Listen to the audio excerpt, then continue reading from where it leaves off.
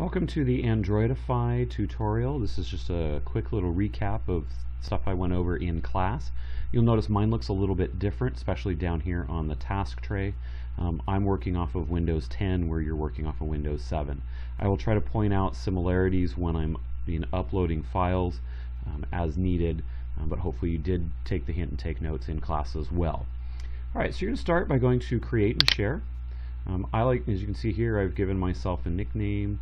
Looks like I've already started one. You may have one started that's already green. That's fine. To give yourself a name, you can just click up here and type it in. I recommend using only your first name or a nickname here. You can change the skin tone. You have various shirts available. Um, make sure you're choosing one that is appropriate for the school setting. You can see here I've got my little Google t-shirt. To change the size of your Android, you can you click left click and hold on the mouse and that will adjust the leg, arm, and head size. Um, so that's something that you may want to check out as well. You can give uh, your Android some shoes. When you're doing this, you want to pay attention to, or particular attention to, choosing items or features that describe or show you, or descriptive of you. Um, that's going to be the point of the assignment. Alright, as you move through, you're going to click Next, and this will take you to where you can add a little move. Um, there are hundreds of moves to choose from. I kind of like this one where you got the basketball and he's bouncing a basketball with a soccer ball. Okay, so I'll just choose that. Um, when you're on the computers, it may take a minute to do this next step. You're going to leave the hometown blank. This is another place where you can add your name if you didn't put it on the first time around. Um, go ahead and check the box here that you're okay to have it submitted and then you're going to want to go ahead and submit it. This may take a couple, two, three minutes as they're put together what's called a GIF, GIF file.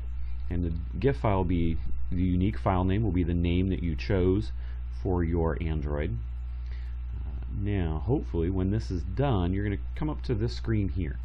This is where you might see some things differ. First off, you're going to come down to the orange circle, has a little arrow, looks like it's going into a little rectangle that's been cut in half. This is the symbol for download. You do want to download this to your computer. So you click that, see a little green status bar. Again, this may take a minute or two. You may see it get bogged down at points. And then once you've got it there, now it should take you to another, it will either open up a new um, window with the GIF there or it will come back to this one. You also see down here in the bottom of your um, Chrome window, you'll see a little file here. This is where there's going to be some difference. You're going to come over here to where it says little file folder down at the bottom in your task tray. Um, or you can go to your desktop where it says libraries. You're going to click on that and you're going to go to one where it says favorites and you'll see one where it says downloads. You'll want to click on there and look for where your GIF was downloaded to and you should be able to find it very easily with your by the name. Uh, I'm going to sort mine a little bit here so I can make it easier to find. Um, yours may be selecting, um, showing thumbnails, mine's just showing a list. So here it is, you're going to drag this, and again, yours may look a little bit different. Again, I'm on Windows 10 you're going to click left click and hold and drag this over to pictures. And down make sure you download it to or copy it to the pictures place. The reason you want to do that you can see I moved mine is so that when you go to upload it to your Google Drive so you have access to it on the network or on the um, on the internet you can find it easily. And also as we've talked in class you want to make sure you're using folders and subfolders next step to upload this to Google Drive. I'm going to switch over here to um, my drive and I'm going to minimize this a little bit and go here to my mail. Go to so you want to sign into your, your Five Schools account go to your nine squares and go to drive. Maximize this for you.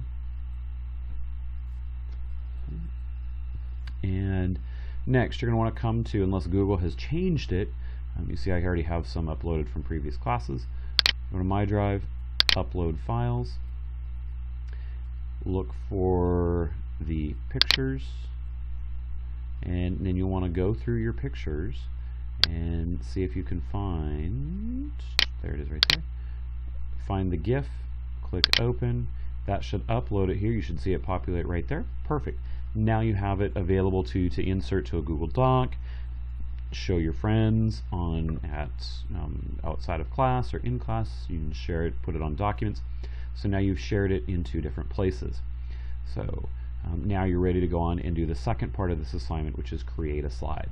If you have any questions, feel free to email me at jgarrett at fiveschools.com.